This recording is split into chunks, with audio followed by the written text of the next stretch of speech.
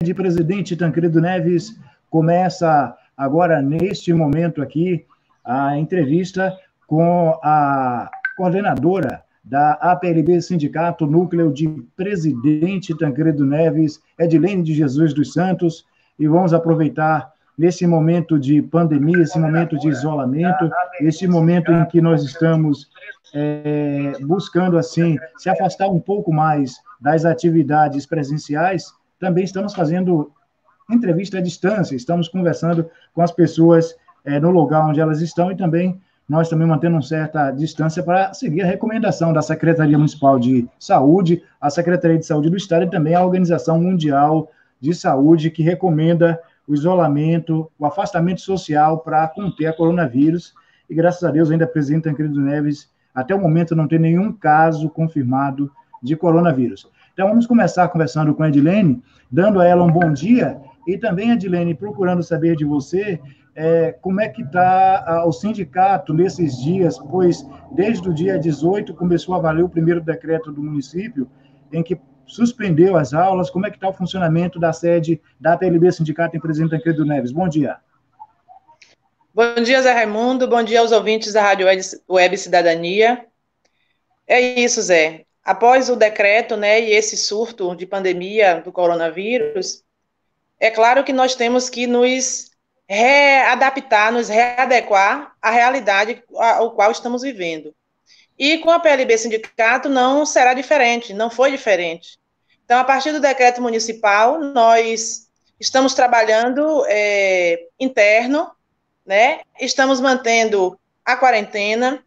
Os funcionários, eles só são requisitados periodicamente quando tem é, grande necessidade, e nós estamos obedecendo é, a ordem, né, das Organizações Mundiais de Saúde, da Organização Mundial da Saúde, o decreto municipal, a orientação do nosso Ministério, do nosso Ministro da Saúde, né, é, da necessidade do isolamento social e de sair só quando necessário. Então, quando há necessidades internas, aí vai, eu vou, a PLB, né, juntamente com um funcionário, procuro não juntar todos, né, na, é, já que não tem necessidade. Então, estamos trabalhando dessa maneira, dessa forma, sem colocar a vida deles em risco e também preservando a nossa saúde.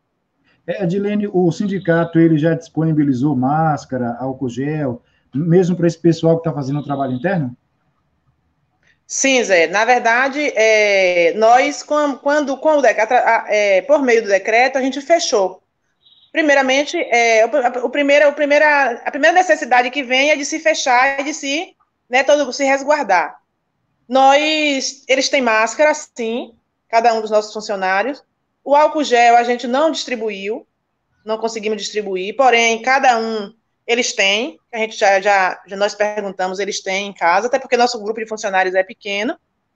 É, máscara nós conseguimos dar, e o que eu posso fazer com eles é questão de orientar mesmo dessa necessidade do momento de a necessidade de estar em casa, de evitar as saídas, entendeu?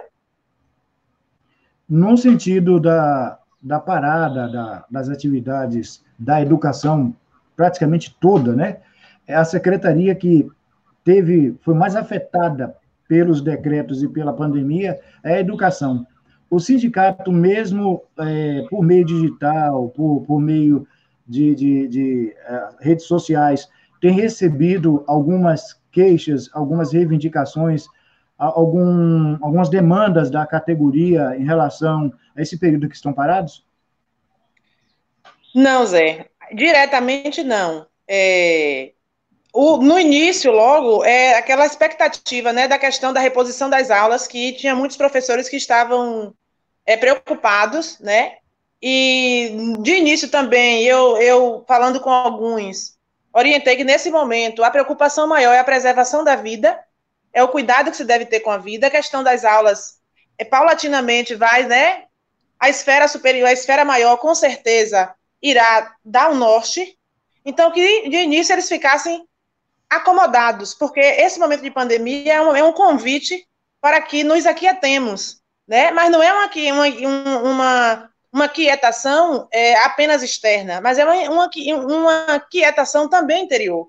Então, que não ficasse nesse, nesse, nesse barulho, né, nesse barulho mental, nessa agonia, porque a gente sabe que as coisas, com o desenrolar dos dias, com o passar dos dias, eles vão, eles vão, com o passar dos dias, eles vão se encaixando, né? Então, não precisava essa. Ah, meu pai. Gente ligando aqui, Zé. Não precisava essa agonia. É... E aí, é claro que com a, é, as lives da Undime, né, que com certeza também foi proveniente dessas inquietações, então eles estão mais, mais tranquilos, mais cientes de que. Mais cientes de que a gente. de que a educação foi afetada, isso é notório, né? Os nossos alunos, eles estão em casa, mas é, é necessário, nesse momento se faz necessário esse isolamento, essa suspensão das aulas. E é claro que, diante de uma pandemia, não vai ter aquele que perca mais e nem aquele que perca menos. Está todo mundo no mesmo patamar, está todo mundo no mesmo barco. Então, alguém vai, todo mundo vai perder um pouco de alguma coisa, né? E é claro que o, o que, é, o que é garantido ao aluno, que é o direito à educação, edu, é, que é o direito à educação, que é o acesso à escola, isso com certeza será mantido. Claro que com outras estratégias, mas será mantido. Como é que você e diante avalia... que você me perguntou, tem reivindicado? Sim. De início, não, até porque a nossa pauta de reivindicação são antigas. E muitas das nossas, das nossas reivindicações foram encaminhadas para a justiça. Né? Então, a gente está aí aguardando esse desenrolar aí da justiça e esse passar de dias aí da pandemia. Como é que você avalia os decretos municipais desde o dia 17 de março, o 04, até o, o 014, que foi publicado o último agora, tratando sobre a questão do tratamento a nível municipal da questão da pandemia e também é, essa, esses decretos, muitos deles tiveram relação direta com a questão da educação. Que avaliação você faz desses decretos? Hum, eu não te consegui te ouvir direito, mas se eu me errar aqui em alguma pergunta, você repete para mim, por favor. É, o que é que eu, a avaliação que eu faço com relação aos decretos municipais, desde o primeiro, né, o início até os de hoje, e quando se refere à educação. É, eu acho que em uma situação como essa de pandemia, em que o mundo ele está sendo sacudido, ele está sendo obrigado a parar, é, é inaceitável que alguém cruze os braços neste momento, né? Então, os nossos líderes, nossos representantes, aqueles que estão no comando político do país, do estado, do município, eles é quem tem que realmente é, se apresentar e vestir a camisa né, de como irão conduzir, de como vão encarar a realidade que hoje chama-se o Covid-19. Então, assim, decre os decretos do prefeito é, é, são, são normais, né? É uma ação normal que tem que se ter. Se nós tivéssemos, se nós, seres humanos, pessoas, fôssemos educados, né? Tivéssemos já a maturidade de entender a necessidade do isolamento e a saída só o necessário, talvez a gente não precisava de decreto de nenhuma esfera. Mas a nossa sociedade, ela ainda ela precisa das leis, ela precisa dos comandos para poder ela é, se organizar. Então, o decreto, nesse momento, se faz necessário, sim, de isolamento. É, com relação que você fala à educação, se faz, sim, pertinente, era preciso. Talvez, sem esses isolamentos, sem essa suspensão das aulas, o nosso quadro de contaminação pelo Covid estaria estarrecedor, né? Os nossos especialistas do mundo inteiro vêm dizendo que a, a, a melhor tática de prevenção é justamente o isolamento. Né? Agora, é claro que a gente sabe que, diante de um decreto, diante de uma situação como essa, a gente acaba mexendo né, com várias estruturas. E o que eu percebo hoje é uma preocupação com a questão econômica. Com a questão econômica né, através dos empresários, através dos comerciantes. Isso não só de Tancredo Neves, mas de todo, de todo o país e de todo o mundo, a exemplo da Itália, que não seguiu a regra de isolamento, fez campanha contra o isolamento e a situação foi estarrecedora e está sendo ainda estarrecedora. Então, assim, eu acho que numa situação como essa, é, é, é, é, como é que eu vou dizer a você assim? Eu gaguejo muito.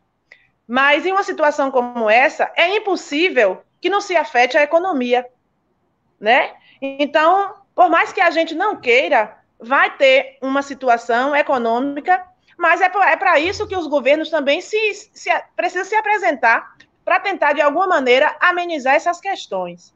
Então, assim, a aula fazia-se necessário, sim, porque no momento em que tem que evitar aglomeração, as escolas têm que estar fechadas, porque talvez é o lugar de maior aglomerações, sim. Então, estaria ali colocando em risco a vida das pessoas, das crianças, dos adolescentes e dos profissionais, né, que conduzem a educação. Então, se faz, se faz necessário, sim.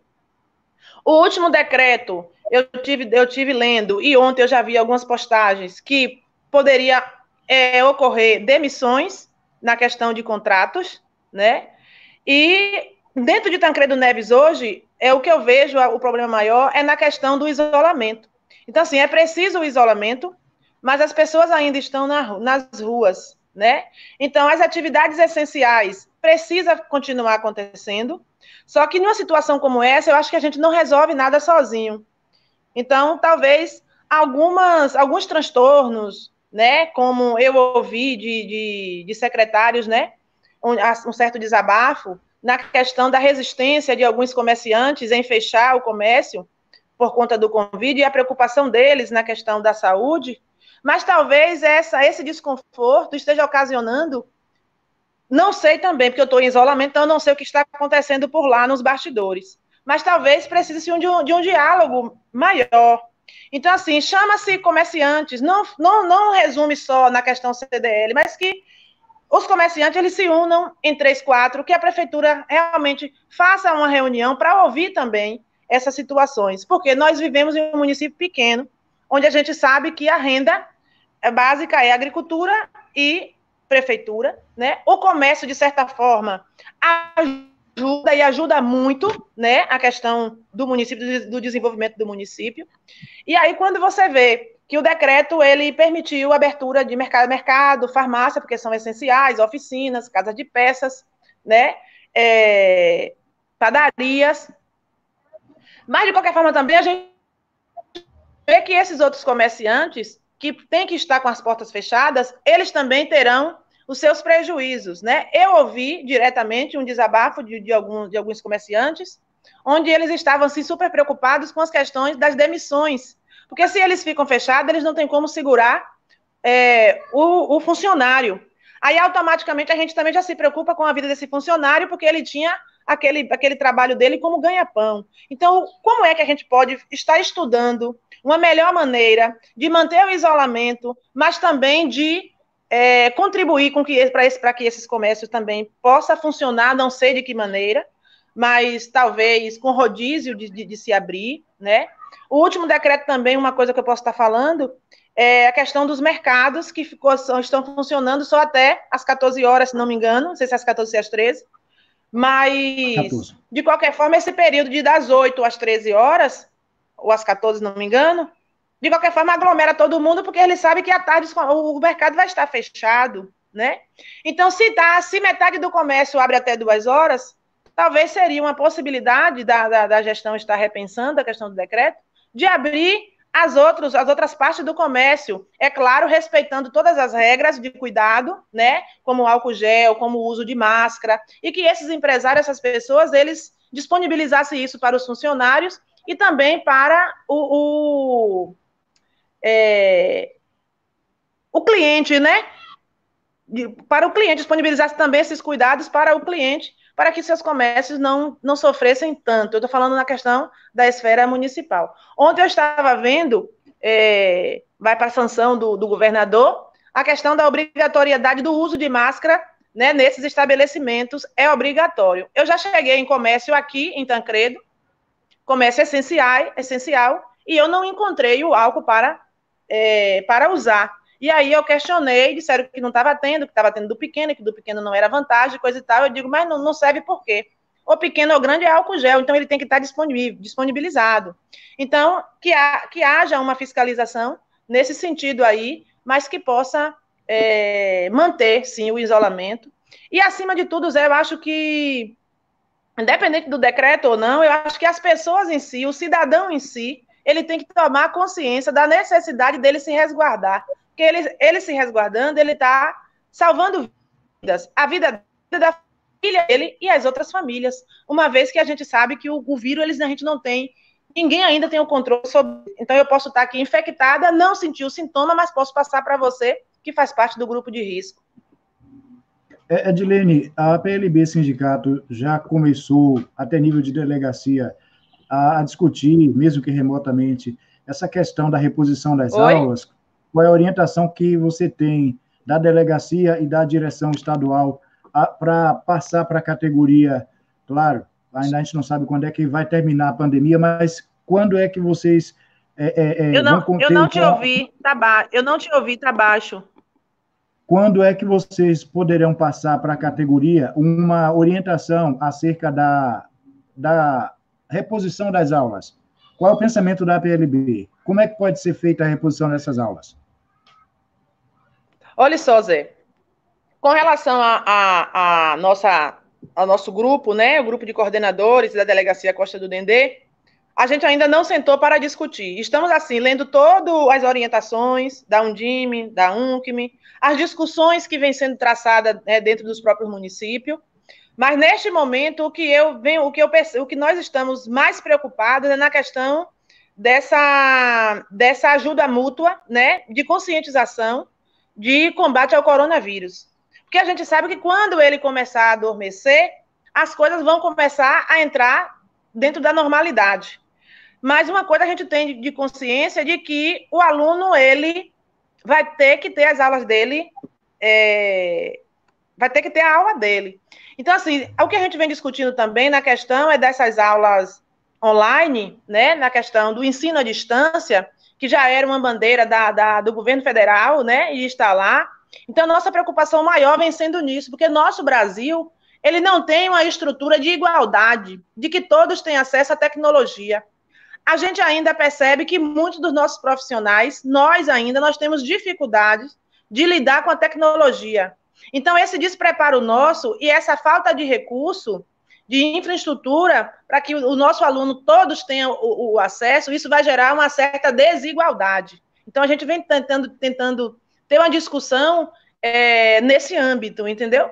Mas a gente ainda não tem uma, uma cartilha de orientação para o nosso servidor no retorno. Nós estamos, nesse momento, esperando acalmar as coisas para depois a gente entrar nessa, nessa discussão. Lembrando sempre que a PLB, ela defende o direito dos servidores, ela também defende o direito dos alunos, né? E a gente não vai trabalhar de contrário o que diz a lei. Então, o que a lei diz é aquilo que a gente vai é, cumprir, é, procurar cumprir da melhor maneira possível, sem, sem exploração também dessa classe trabalhadora, mas cumprindo a lei sempre. É, durante esse período da pandemia, foi feito pela APLB aqui de Presidente Querido Neves uma campanha para trocar máscaras por um quilo de alimento, uma máscara por um quilo de alimento. Fala um pouco dessa campanha para gente. Foi sim, Zé. Foi. É porque assim, é... o que eu venho prestando atenção é que a pandemia, de qualquer forma, ela tem um objetivo, né? Então, de toda dor, de toda lágrima, a gente tem que tirar é, uma grande lição. Então, assim, o que eu venho observando é a questão da necessidade de se ajudar o próximo. E o que assim, o que é que eu posso fazer? O que é que nós podemos fazer? Então, assim, nós da PLB, nossa diretoria, qual você faz parte, a gente pensou fazer cestas básicas para ajudar os mais carentes. A gente financeiramente não temos essa estrutura para fazer isso.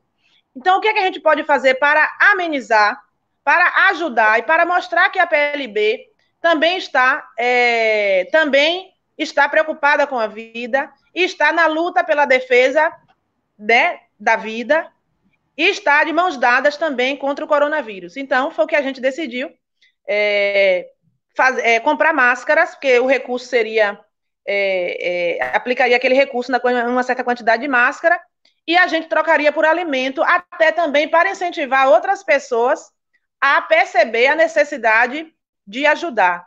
Então, que ninguém é tão necessitado que não possa ajudar alguém, e que ninguém é tão rico que não tenha a necessidade, né, e que não precise da ajuda de alguém. Então, foi assim, foi algo assim muito é, gratificante, né, quando a gente chegava nas ruas, que via as pessoas já saindo de suas casas, eu quero máscara, tome aqui. Então, pegava uma máscara, mas pegava 6 quilos de alimento e doava.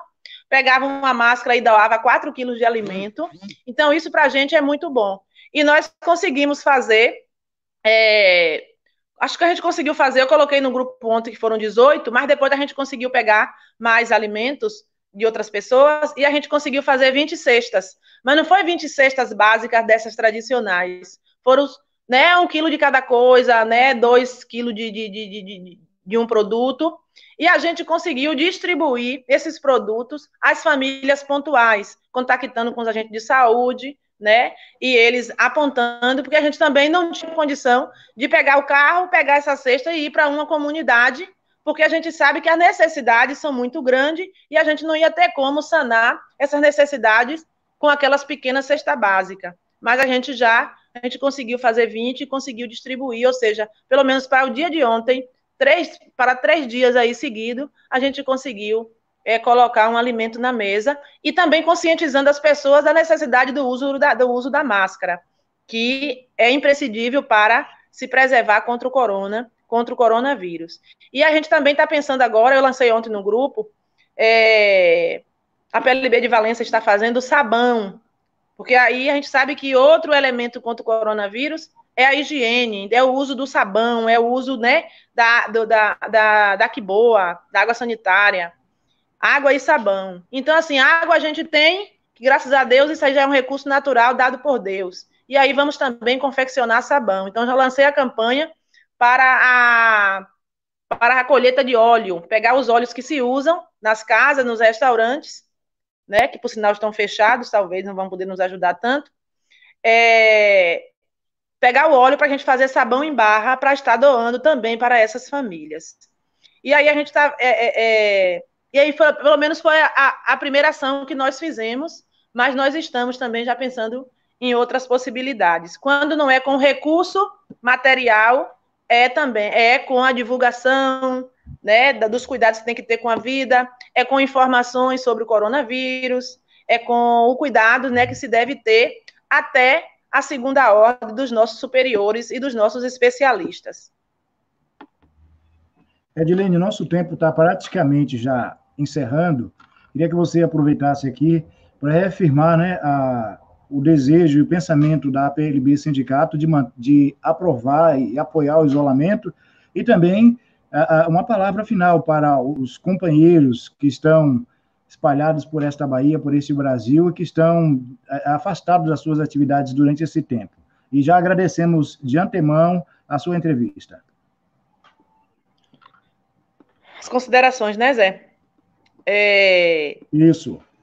O que, que eu posso dizer, né? Eu acho que tudo é válido né, em nossas vidas. E chega um momento em que a gente precisa obedecer. Né? Talvez essa pandemia venha por uma desobediência da humanidade, né?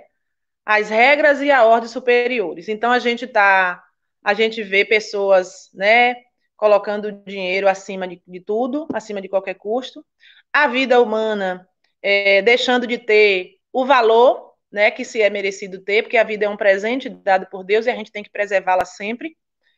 E a gente vê esse desrespeito com a vida, com o meio ambiente, com o planeta, que é esse que nos serve.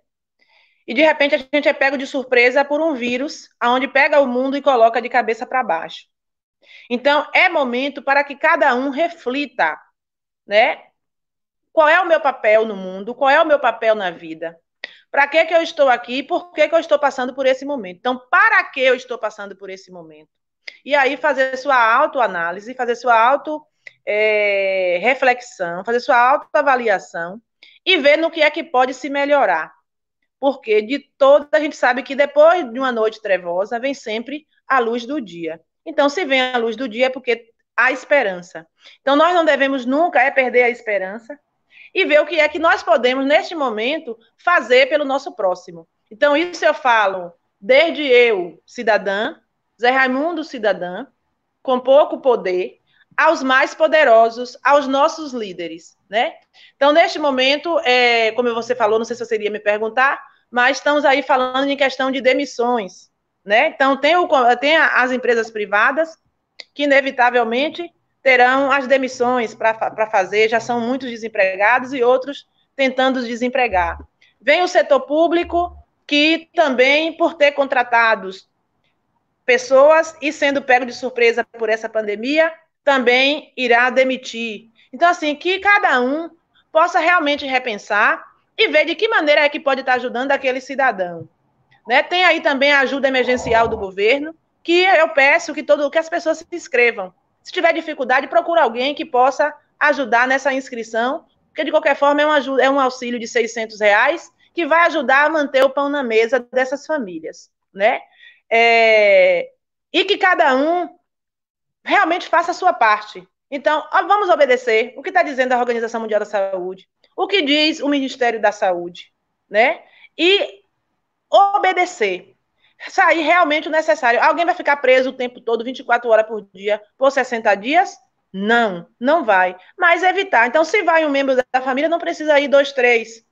E avaliar se realmente tem necessidade de estar na rua se não pode pedir. Então, assim, os nossos idosos, que chama atenção, que é, faz parte né, do grupo de risco, e que a gente já sabe que o vírus ele pode pegar e matar qualquer pessoa, a gente já sabe disso. Então, não adianta estar tá aí só colocando os idosos como, como bucha, né? Porque ele pode alcançar a todos nós, mas é esse grupo que realmente, se não tiver ninguém que possa fazer aquilo que ele iria fazer, peça para um vizinho, peça para alguém, peça para um amigo, para evitar é, a contaminação. E a gente sabe que a nossa estrutura de Tancredo Neves é uma estrutura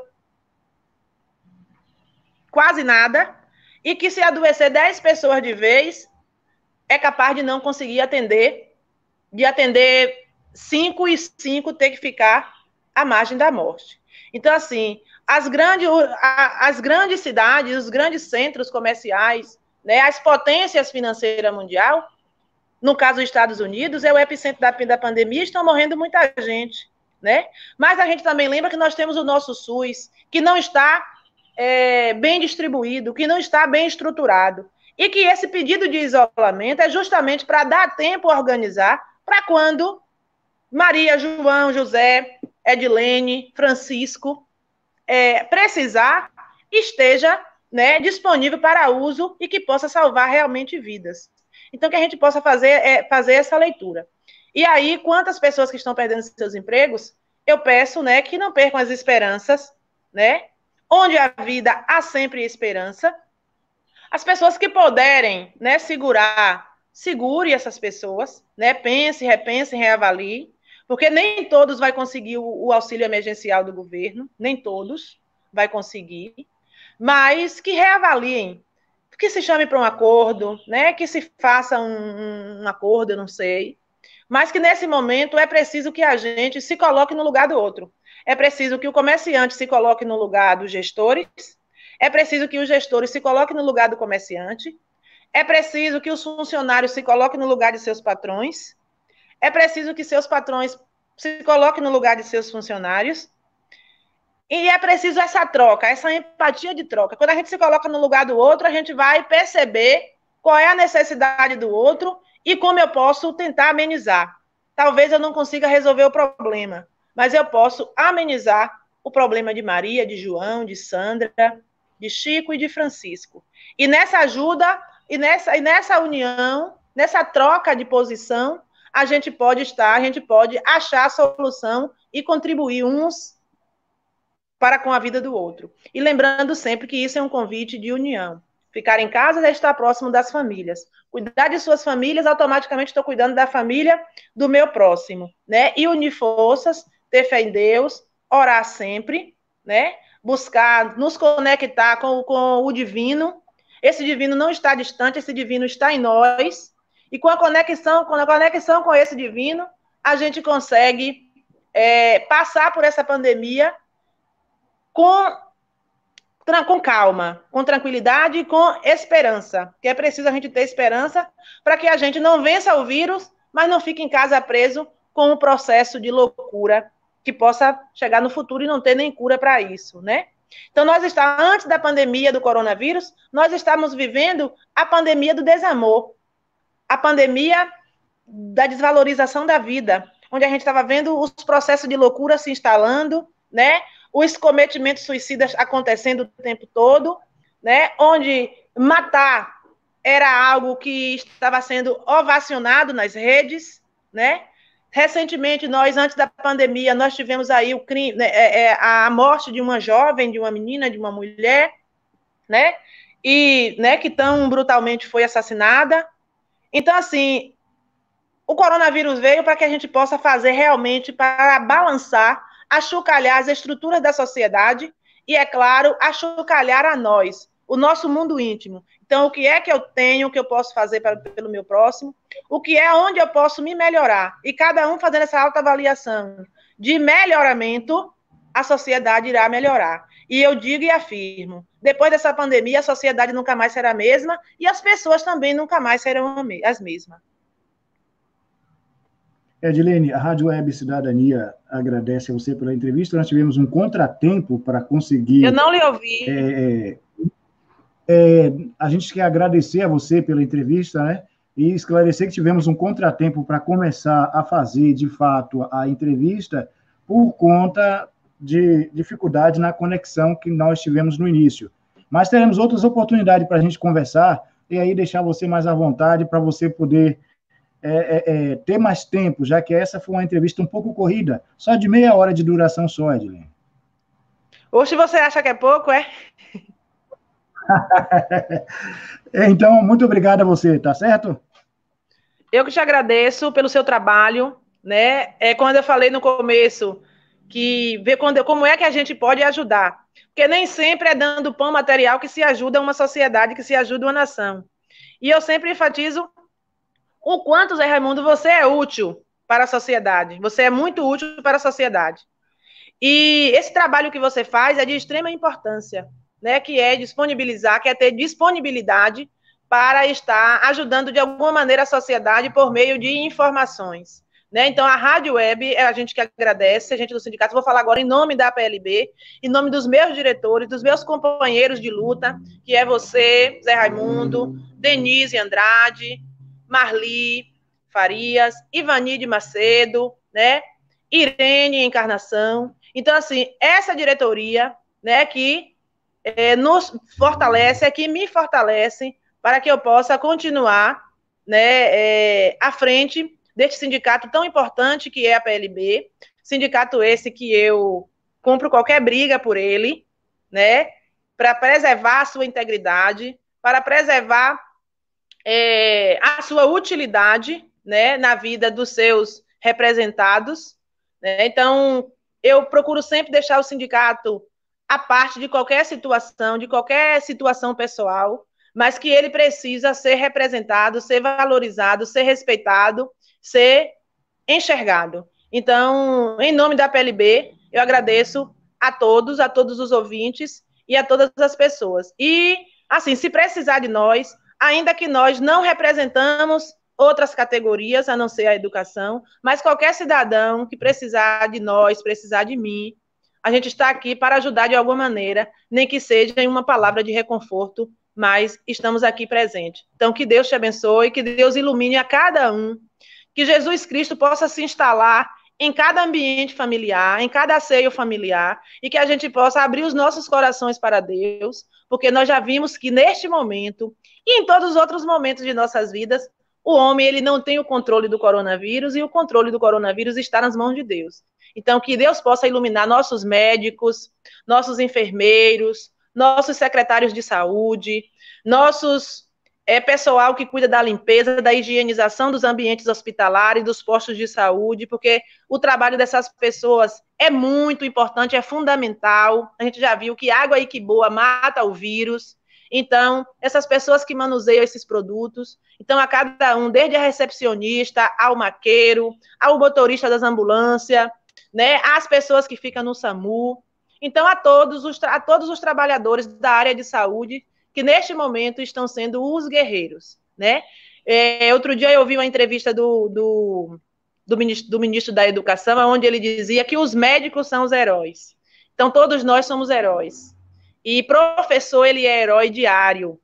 Com vírus ou sem vírus, ele é herói diário. A educação, ela é fundamental, de extrema, de extrema, de extrema importância para a organização e desenvolvimento de uma sociedade. Então, somos os heróis guerreiros. Neste momento, os médicos se apresentam como heróis, como guerreiros, e na luta corajosa e valente né, de combate ao vírus, sem medo de se infectar, sem medo de, de infectar seus familiares. Então, que a gente possa, no nosso momento de orações, orar, sim, por essas pessoas e pedir a Deus que os fortaleçam as pessoas que estão nas ruas, né? A segurança, os policiais, os bombeiros, as guarda municipal, a guarda municipal, as pessoas que estão na rua ali, buscando de alguma maneira orientar os cidadãos. Que Jesus te abençoe, Zé.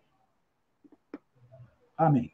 Bom, nós acabamos de conversar com Edilene de Jesus dos Santos, ela que é coordenadora da APLB Sindicato, núcleo de Presidente Tancredo Neves. Rádio Web Cidadania há seis anos, sendo a informação para a formação do cidadão.